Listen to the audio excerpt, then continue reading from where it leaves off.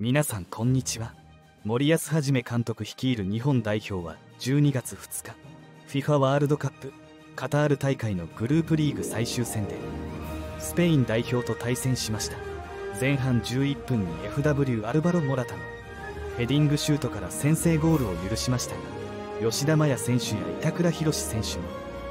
マークの受け渡しがネット上で議論されています。日本代表はスペイン戦でディフェンス谷口彰悟吉田麻也板倉寛による3バックシステムを採用コンディション不良だったディフェンス冨安健洋やディフェンス酒井宏樹が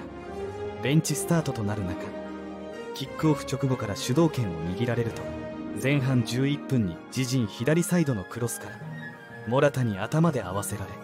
前半に防戦一方の試合展開を強いられている日本代表でしたが失点シーンを含めて吉田麻也選手と板倉寛選手による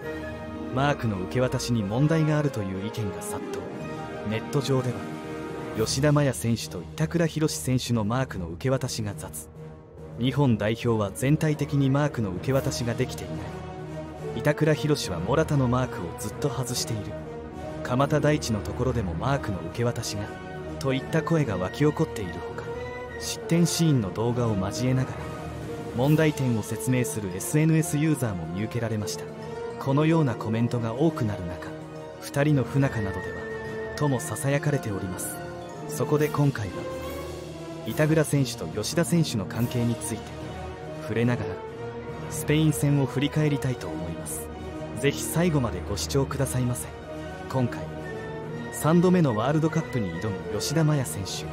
実は板倉選手は同じポジションで今回招集されています。自分のポジションを脅かすかもしれない存在の板倉選手ですが実は少し前に差し入れなどを渡しており気にかけていたようです。リーグ戦で好調だった板倉寛選手でしたが9月のトレーニング中に負傷をしたため日本代表吉田麻也選手は板倉選手へコラーゲンボールを差し入れしていたそうです。板倉選手と吉田選手はアジア最終予選で冨安健洋選手が負傷をしてからはセンターバックでコンビを組みましたが復帰すれば吉田のポジションを脅かしかねません。ですが日本代表のキャプテンはあまりそこは気にしていないですけど俺は怪我をしたから一日でも早く帰ってこられるようにとそれが良いか悪いかは別にして日本のサッカーのためにやれることを全てやると決意してこの4年間やってきていたのでその結果としてヒロシが出てヒロシが活躍してくれれば僕にとっては最高のストーリーだなと思いますと語っています。さらにポジション争いが激しくなることも大歓迎だと語っており競争が激しくなることに関してはいつも言っていますけど激しい競争の中で選手は伸びると思っている。自分自身もサウサンプトンでそういう経験をしてきたしヒロシにも刺激を受けている。それは伊藤洋樹も冨安もそう。そういう正しい競争があること自体がチームにとって一番良い状態なんじゃないかなと思います。と自分自身の成長にもつながるという考えを披露しました。さらにはこの4年間はこのワールドカップにかけてきたと言っても過言じゃないと思っている。やれること全てやりたい。日本のサッカーにプラスになることであれば全てやりたいと思って取り組んできたつもり。吉田選手は言い切っていました。自身3度目となるワールドカップで過去最高の結果を出すためにピッチ内外でチームのために全力を尽くすと語っている吉田選手コメントを見る限り不仲ということはなく試合においての緊張などの関係であまりコミュニケーションが取れていなかったのかもしれませんねシャルケで昨季は板倉寛選手今季から吉田麻也選手がプレーしています。今夏に就任したフランク・クラマー監督がそれぞれの特徴について昨夏にマンチェスター C からのレンタルで加わった板倉選手はシャルケでは主にセンターバックとしてプレーし1シーズンでの一部復帰に大きく貢献。しかし同クラブは財政状況から買取オプションの行使を断念し板倉選手は完全移籍でボルシア・メンヘングラッドバッハへ向かうことになりました。そしてシャルケはその後サンプドリアとの契約が満了となっていた吉田選手をフリーで獲得。加入後2週間で第2副キャプテンに任命されたことからもクラマー監督がベテラン DF へ寄せる期待や信頼を伺えます。一方でドイツ紙キッカーが紹介したコメントによると同監督は吉田選手を板倉選手の代役と呼びたくないとのこと。プレイヤータイプとしての違いを強調しつつコウは6番の素質を持つ若い選手だがマヤは抜群な存在感を示す経験豊富なリーダータイプの選手だと2人の特徴を語っています。2人の不仲がささやかれた今回の日本対スペイン戦。結果は2対1で勝利し快挙を成し遂げました。これで日本は1次リーグ2勝1敗とし2大会連続の決勝トーナメント進出を決めました。日本は第2戦から先発メンバーを5人入れ替えスペイン1部リーグでプレーする。久保建英選手やワールドカップ初出場となる。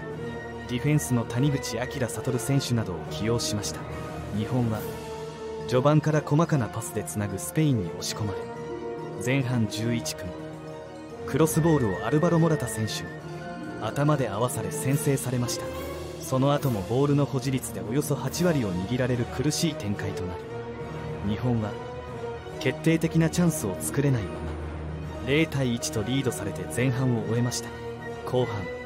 積極的なプレスで相手ゴールに迫った日本は3分に後半から入った堂安律選手がペナルティーエリアの外から左足を振り抜いて鮮やかなミドルシュートを決め同点に追いつきました。さらに6分には同じく後半から入った三笘薫選手のゴールラインギリギリからの折り返しに田中碧選手が右足で合わせてゴールに押し込み VAR によるビデオ判定でも覆らず日本が勝ち越しました。その後はゴールキーパーの権田修一選手の好セーブなど粘り強いディフェンスでスペインの反撃を許さず2対1で勝ちました。日本は初戦のドイツ戦に続き世界7位の強豪のスペインを破って1次リーグ2勝1敗とし2大会連続の決勝トーナメント進出です。スペインに勝った日本は勝ち点を6としグループ E の1位となりました。この結果決勝トーナメントの1回戦はグループ F の2位のクロアチアと対戦します。試合は日本時間の今月6日午前0時キックオフの予定です。スペインとの試合終了後の森保監督はハードに粘り強く自信を持って戦ってくれた。試合を通して苦しい戦いだったが必ず自分たちはできるということを信じ続けてチーム一丸となって最後まで戦ってくれたのが良かったと話しました。まだまだ日本代表の戦いは続きますので今後の試合にも注目しておきたいですね。最後まで動画をご視聴いただきありがとうございました。コメントを残してくれると嬉しいです。チャンネル登録や高評価もお願いいたします。それではまた。